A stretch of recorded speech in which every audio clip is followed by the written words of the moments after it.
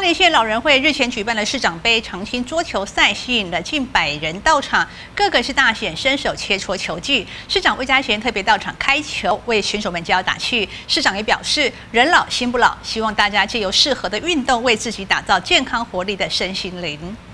由花莲市公所指导，花莲县老人会主办的市长杯长青桌球赛，在日前火热开打。比赛分为甲乙级、才混合双打，共计有十六组，近百位选手报名参赛。英法长者共聚一堂，各个大显身手，互相切磋球技。而市长魏家贤也特别到场开球，为选手们加油打气。那在这个月哈，我们也开始举办一些在老人会的一个歌唱比赛。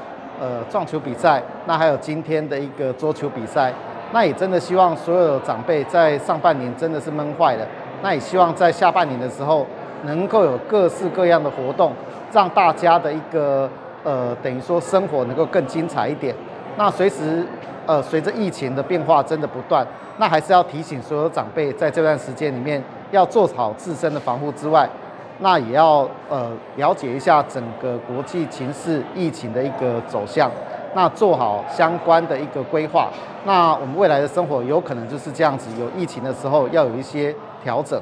那未来花莲施工所也会持续的针对长辈休闲的活动，持续推出更多系列有趣的市长杯，或者是一些呃适合长者的银发组的一些活动。那也请所有家中。呃的长辈都可以出来参加相关的活动。市长魏家贤也鼓励长者能多走出户外，加入不同的社团，借有人际互动及社团办理的各项活动，达到联谊的目的之外，也让身心灵充满活力与健康。记者徐立勤，华联市报道。